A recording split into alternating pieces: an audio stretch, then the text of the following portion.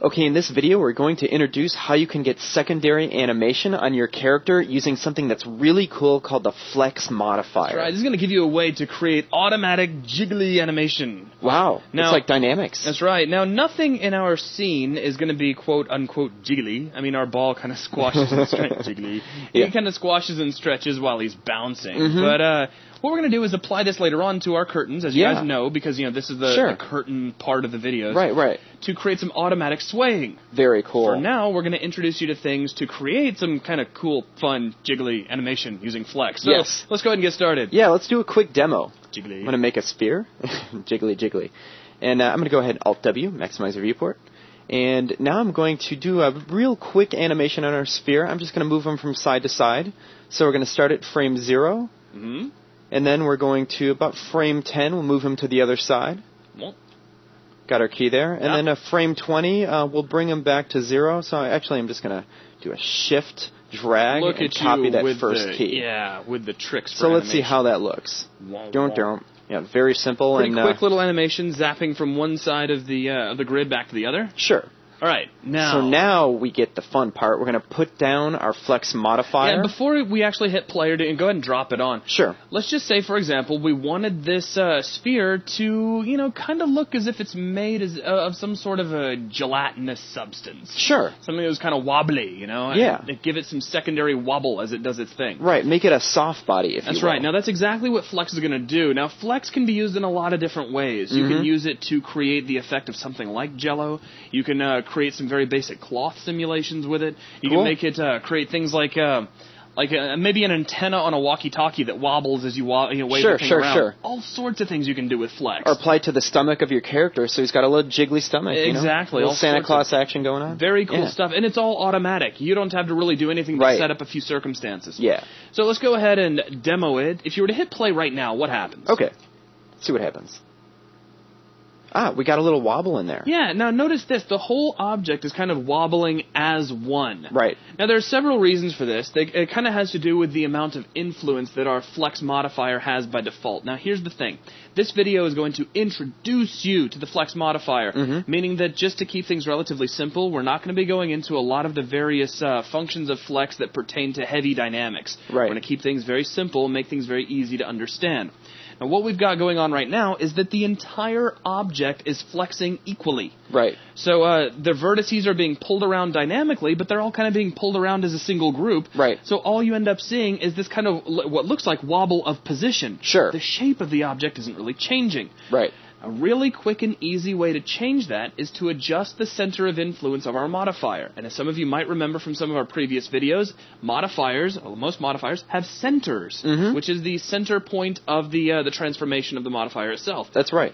If we expand flex, you can I'm going to hit uh, wireframe on shader real quick. Cool, that's great. I'll open up Flex, go down to the center. It actually has a center, and you'll notice right, Right. now the center is placed at the object's pivot, which is at the center of our sphere. Right. If we move that down, something very interesting happens. Notice we get some shaded vertices. In fact, switch off wireframe on shaded for just a moment, and you can see these shaded vertices that look very much like soft selection. Yeah, it does look familiar. Now, if we uh, hit play right now, wow, wow, wow. Ooh, a little bit different. Now, because you guys are catching this at 10 frames a second, you might not be able to notice too much of a difference, but if you're following along at home, you will. What's happening right now is that the bottom of the sphere is starting to deform a little more than the top. Right. All right, now let's talk a little bit about some of the parameters of Flex that can adjust what you see as your final result. Well, the first parameter here, at the flex parameter, that's kind of like the overall magnitude of this uh, flex modifier, Okay. if you will. By turning it up, you're going to get like more flex. By Okay. turning it down, you're going to get less flex. So watch. Why don't we go ahead and double that, and now we could go back and hit play. Oh, it's actually stronger now. Yeah. Yeah, very cool. Uh, there, yeah, let it play a couple of times. It's Sure. getting a little bit uh, jittery on our computer. Frame rates might be making that tricky. But again, if you're following uh, click by click at home, you will notice more of a wobble there. Crank Right. it up something a little more interesting. Maybe something like six. Wow. We can turn it back down in a second if we need to. So now it's Yeah. really stretching out. It's Mhm. really obvious. Yeah, very strong here. But notice it's snapping back very quickly. Mhm. And this kind of leads into a very, very brief uh, discussion of how Flex works. Basically, there are these like tiny little invisible springs between all of your vertices. That's right. It's And, a, uh, web work of these springs that are a lot like rubber bands. Right, yeah. And uh, basically, we can control the, the springiness of these springs, if So, you will. If you ever played with like a bungee cord, you Yeah. know, that's used to, to tie things down, Mhm. you have some bungee cords that if you pull on them, it's like they triple in length. I mean, Right. they, they, they're not all that strong. And then you get some that you can barely move. You can pull as hard as you want, and they're really, really strong. right. That's what strength is going to change. Yeah. How strong these rubber bands in between all of our vertices are. Exactly. So now if we actually bring the strength down, let's say 0.5 or so. It's really low. Yeah, and we go back and hit play. Now it's Wow, really, wow. really springy. Yeah, we get some really huge wobble in this. Yeah, and that's also because our flex is so high. So if we mm-hmm. actually bring that down to two,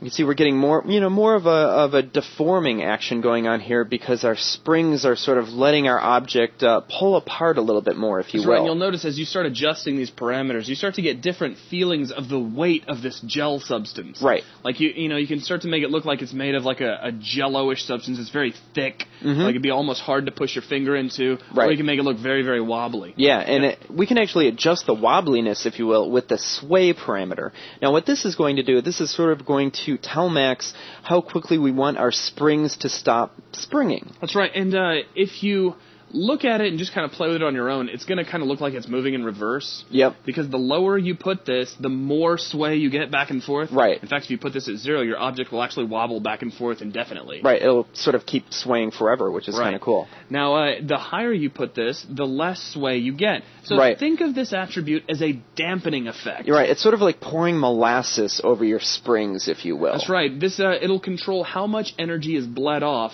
frame Mhm. by frame. Right. So why don't we actually try that? Let's uh, let's zero out our sway parameter. Okay. Hit rewind, and I'm actually going to zoom out a little bit more, and uh, I'm actually going to bump up our time range real quick. Uh, you know, give it an order of magnitude to a thousand. And I'm going to hit rewind and hit play. Wow, wow, wow, wow, wow. And with a sway of zero, meaning Yep. we have no damping, nothing that's slowing this animation down, Yep. we will just sit here and wobble back and forth pretty much forever. Yeah, it's sort of like a perpetual motion machine, if yeah. you will. And it's just going to keep right yeah, on yeah, none of the energy of our springs is being dampened out. That's right. Yeah. Now, uh, real quick, we're not again, we're not going over every single attribute in here because Sure. some of these get a little bit more complex than I'd like Mhm. things to get at this point of the game. But just a real quick overview: we can create simple soft bodies. This is where Max is going to kind of control the amount of influence the object is going to have That's right. automatically without you having to really do anything.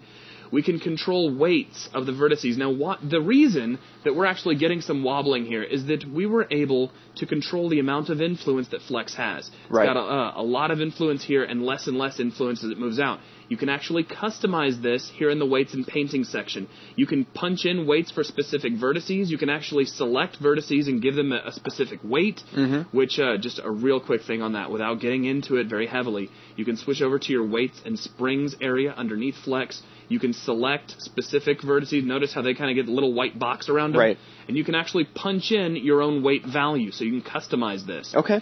Now, uh, down from here, uh, you can also paint, and we'll talk more about painting weights and painting attributes a little bit later on in this class. Right now, we don't really need it. Uh, we have forces and deflectors. I'm not even really going to talk about this much because that's actually coming soon in a f- in another video uh, Mhm. here in just a moment. Uh, we have advanced parameters, and since they are advanced, we're not really going to be getting into them right Yeah. now. It's just a way to control uh, what frame we're listening to for the start, what frame we're listening to for the end of the simulation. Right now, this is off because we don't need it, and whether or not you want to affect all points on your model. Sure. We have the ability to use advanced springs, which actually just have a few more attributes. Right. Uh, It's sort of like advanced control over our specific springs, if that's, you will. That's right. Now, uh, the thing about using any anytime you see enable advanced anything in Max, that means Mhm. you're using heavier calculations in Right. most cases. So uh, we're going to kind of avoid this for now. We're going to stick with just simple springiness, Mhm. which is more than what we need. And we can switch back over just to the top of our flex. We don't really need our center or anything else. You can already see our influence gradating off. Right. So that's a brief overview of all of the parameters within Flex without really getting too specific on any one thing. Sure. Now that we've covered that, though, now that you've kind of seen what Flex can do, let's start upping the stakes a little. Yeah, let's push it a little bit further. What right. if we only want to apply the flex to a certain part of our object? Actually, an interesting point. If I hit G and kind of hide away the grid, take Mm-hmm. a really close look at this object. You'll notice that Flex is working across the surface in a linear fashion. Right. There's actually like a straight line of, a, of effect here. We have Mm-hmm. 100%, and we count down perfectly in, you know, in sync in a constant amount. Sure, sure, sure. All the way down to the end. So our Flex gives us this funny looking straight line. Yeah. What if we didn't want that to happen? What if Right. we wanted a smoother or softer uh, flexibility, Ah. and at the same time, maybe there's part of the object we don't necessarily want to flex. Maybe we just want to flex the top of the sphere Right. and leave the bottom alone. Mhm. We can start adding on some of the things we've talked about in the, the last video with soft selection Yeah. Add a, stack this on top of, or technically underneath, Mhm. flex, and get some really cool effects. Yeah. Let's go ahead and demonstrate. Cool. Why don't we do that? First thing I'm going to do is rewind the timeline, Mhm. and uh, I'm going to go ahead and just delete out our flex modifier for now, because uh, and go on wireframe unshaded. Because basically, what I really want to do is while keeping the sphere, I just want to be able to you know select uh, only the first you know top half and apply flex to that. That's right. Now, naturally, as mentioned in the last video, you don't necessarily have to delete out your flex modifier to do this. Mhm. You can insert a, uh, poly select underneath it in the stack and use Oh, yeah, selection, all this kind of stuff. But just to alleviate confusion and to present a nice, clean, consistent workflow, for now we're, we have gone ahead and deleted out flex, and then we'll stack up our modifiers one by one. Right, exactly. So now I'm going to go back to our trusty poly select modifier that we all know and love, Mhm. and I'm going to go down to vertex subobject mode. I'm just going to select the top vertex of our sphere. Cool. So just a single vertex. Yep. And now I'm going to go down to soft selection, turn that on, and I'm going to adjust the fall off so it's affecting, uh, you know, around only the first, uh, the top hemisphere of our globe. Okay.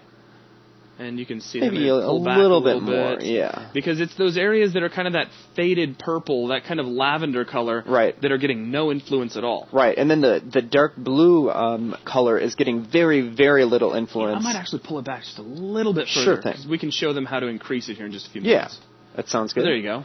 Now we have our, our vertices selected kind of in a gradient-like fashion. Make no- sh- I was going to say, make sure, so you don't get confused, that you don't deselect this. Right. Don't click off in the viewport. Make sure you hold that selection Mhm. as you do this next task. right, because you know if you do that, of course, you can just go back and, and reselect again. As, That's right. If you but will. if you lose that selection before you put on the flex, flex will not work right until you go back in and recreate that selection. exactly. I'm going to go ahead, apply flex, All right. and I'll punch in a few values here. I like you know a little bit more magnitude. Um, I like to have the springs to be not quite so Oh, hang on, springy. hang on. Before you do that, go Sure. ahead and just set, set that back to one. Leave it at the default values, and let's just hit play and just see what we get. Okay. So we'll, we'll kind of build things up. We'll zoom out a little bit. We'll hit play, and voila! You get just a little bit of wobble just Yeah. there on top, which Right. is very cool. Mhm. So now let's play with our flex parameters so that we end up with a, a little more satisfying flex. Okay. Let's bump up our flex's intensity. Mhm. I'm going to make the springs, um, you know, a little bit less stiff. You know, that bleed down the strength of the springs, if you will, about maybe 0.6. And then I'm going to make them uh, sway a little bit more, so maybe about uh, a sway of 4 instead of 7. Okay. See how that looks. Wow, Wow. wow Very cool. So there you go. Now we're only affecting the top half of our object, and Right. we have this smooth transition through soft selection. I'm going to go ahead and of set my timeline back to 100. We don't Okay. need quite all that craziness because we're All not doing perpetual motion anymore. So there you go. Yeah.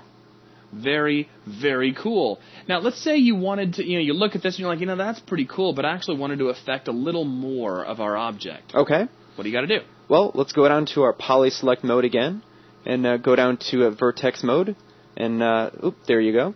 And now I'm going to just go ahead and increase the fall off a little bit more. That's right. Just push that fall off a little bit further. a little because, further. Because that selection is being sent up to the flex modifier. Right. The fall off is ending at about 67 units down from your top vertex that you selected, in max units, of course. Cool. Go back up to flex, hmm and uh, this time, uh, yeah, let's just rewind, and hit play, see what happens. Yep. So, So, you're getting more, fall off. That's right. More of the object is actually Right. flexing. The bottom of it is still remaining constant. Very, very Yep. cool. The bottom's not moving at all, so it's sort of like uh, we're getting jello, if you will. This is a great way to add secondary animation to all kinds of animations. I Mhm. mean, I mean, you have a, a character. I think in, even in the help file, they have a little ant guy with antenna, Right. And they show you know you could make his antenna wobble as he right. turns his and head it's around. like you know, of course you could you know keyframe animate those antenna, but that would take a long time, and this just saves you so much work. Makes it all automatic. I mean, Yeah. you could have like spines coming off a character, kind of like Sonic the Hedgehog or something. Cool. And as he turns around, all of his spines have a little gentle wobble to Awesome. them. All sorts Yeah. of great stuff you can do with the flex modifier. So play with this and have a little bit of fun. I do think, however, that's everything that we wanted to cover in this particular Boing. video. Now, in the next video, we're going to take things and uh, push them a little bit further and start showing how you can use flex along with some dynamic forces in your scene. Awesome. Ways that you can uh, apply things kind of like maybe some wind, uh, maybe th- something kind of like gravity. How Mm-hmm. Sure. you can block flexes. Like you notice, like right now, the top of our sphere really waves back and forth. Right. What if that swaying object hit an obstacle? Yeah, and it kind of like smacked into it. Yeah, what if it smacked into something? What Yeah. would you do? There's ways that you can actually set this up, and that's what we're going to be exploring in the next video. So, with that, thanks a lot. Thanks, everyone.